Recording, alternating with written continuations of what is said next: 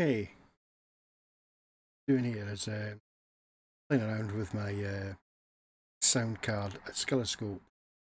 Now, obviously, a oscilloscopes, proper ones, are quite expensive.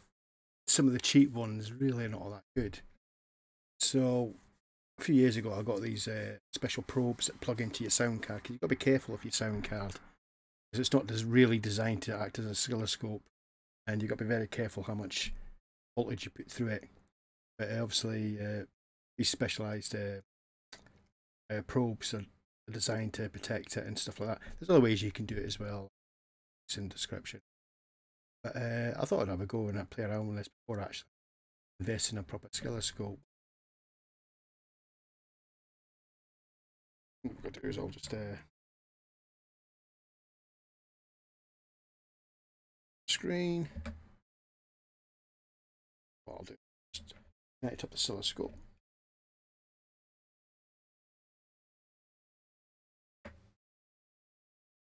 Oh, we see. That'll work. This is a free uh, online oscilloscope you get for. Yeah.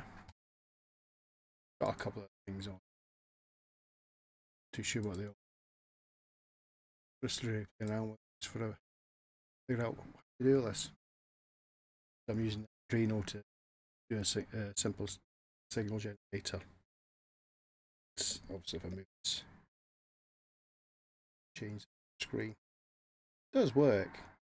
Again, it's pretty limited because you, you're kind of tied to your sound card. It can do certain things.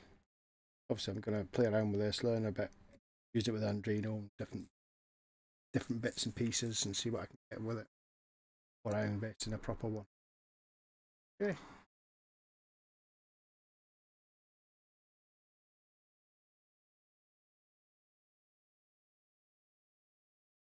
There's all kind of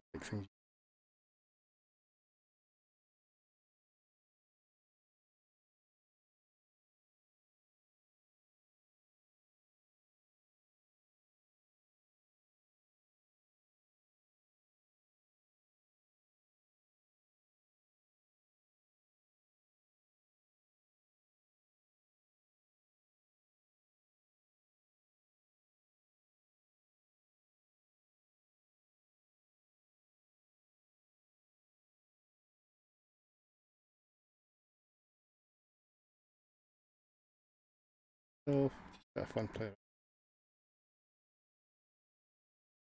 Oh, anyway, I thought that'd be useful. If you are going to mess around with this, uh, your computer's sound card, it's got to be very careful not to damage your sound card. Okay.